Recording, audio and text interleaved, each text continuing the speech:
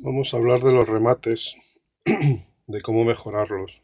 Cuando empiezan se ven muchos remates que no tienen demasiado, demasiada gracia, demasiado sentido, ¿no? Nos ponemos a jugar con la guía, al final nos salen cosas así y bueno, no...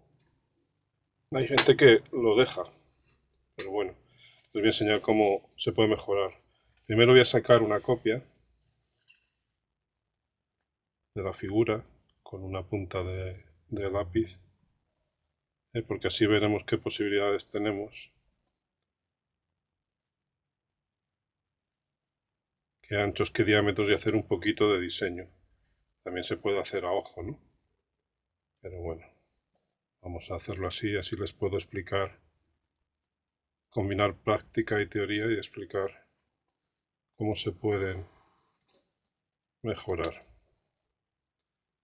Bien.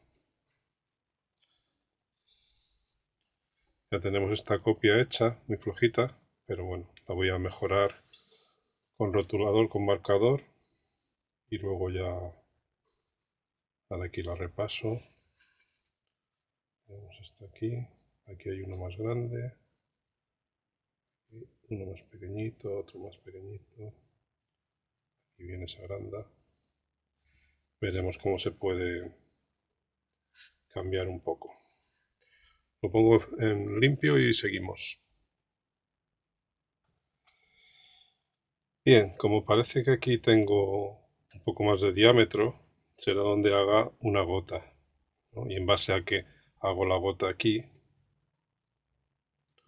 o la cebolla como llaman, en realidad representa una, una llama. Esto viene desde los candelabros antiguos que se utilizaban en las iglesias y, y representan llamas, ¿no? Aquí tenemos el complemento de la cebolla. Aquí tenemos una holgura estrecha. Esta será la base. ¿De acuerdo? Ya veremos qué podemos hacer en la base. Entonces aquí, pues, se abre. Aquí tenemos un, otra vez un diámetro que podríamos aprovechar. Podríamos irnos hasta hacer el finial aquí, ¿eh? que quizás por proporciones sería mejor, o hacer una bola aquí, para que vean que hay más recursos. Aprovechar la bola, volver a hacer un corte.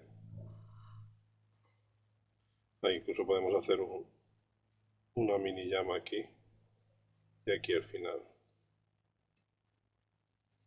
Más o menos se trata de eh, identificar elementos. Una cosa es eh, diseñar y otra es realizar. Entonces, claro, estamos aprendiendo a realizar, no a diseñar. Se juntan las dos cosas. ¿eh? Por eso hay que separarlas. Es como cuando... Perdón. Perdón.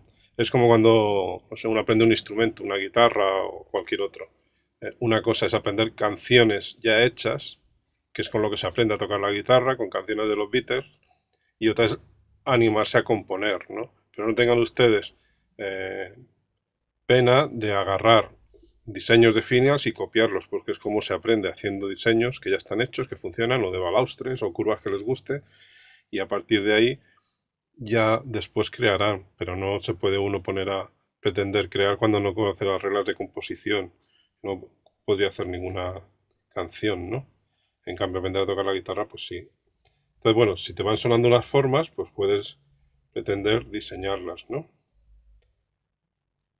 Pero si no, pues se copian y ya hay unas fórmulas que han funcionado más, como estas de las gotas y de los todas las curvas que les expliqué en la parte de, curvas, de los boceles.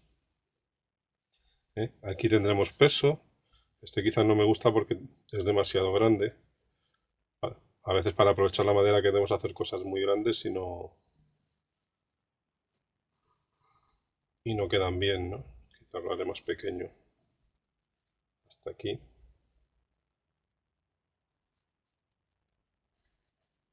Bueno, como es para un ejemplo. Esto se puede hacer una escocia. Cuando conocen las curvas, pues ven, en lugar de hacer una curva que conecte con este, hacemos una escocia. Hacemos un pequeño filete aquí y entonces sacamos la gota quedará mejor. ¿De acuerdo? Entonces es cuando tenemos los recursos para, para trabajar. Bien. Aquí abajo haremos un, uno recto.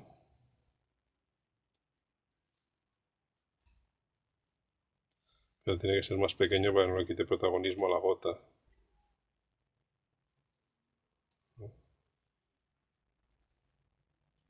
Y podríamos hacer uno que me gusta a mí, que es hacer un bocel invertido aquí. Que le da... Y luego está bien esto de aquí, un toro, que siempre acaban bien. Un filete y ya aquí estaría la inserción de dentro. Bueno, pues me ya he hecho un poco de diseño. falta este de aquí, ¿cómo lo acabo?